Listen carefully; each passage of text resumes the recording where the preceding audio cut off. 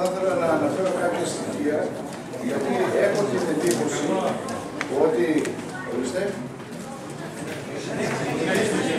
Έχω την εντύπωση ότι έχουν γίνει κάποια λάθη στους υπολογισμούς. Και αν ισχύει αυτό, είναι κρίμα πράγματι και αυτά τα παιδιά και τα άλλα που δεν βλέπουμε,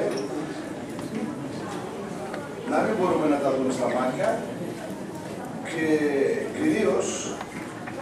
μαζί με τους γονεί του και οι εκπαιδευτικοί να τα χάσουν και να το ψάχνουν παλιότερα.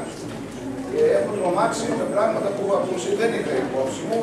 Εγώ μένω στις οικέ, ας το πω πιο στη, και μάλιστα εκεί που είναι τα σχολεία, πρώτο, δεύτερο, γυμνάσιο, κτλ. Και ας το πω, θεωρώ σε ευνοημένο τον εαυτό μου.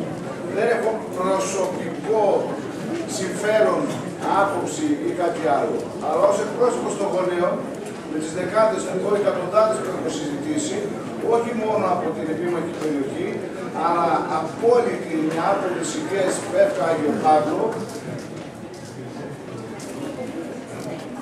βλέπω ότι υπάρχει μια διάκριτη ανησυχία πολύ μεγάλη πολύ μεγάλη και χαίρομαι αν πήρε απόφαση τέλος πάντων η πλειοψηφία και το Δημοτικό Συμβούλιο πρόκειται να πάρει σε κάποια πράγματα να κρατήσει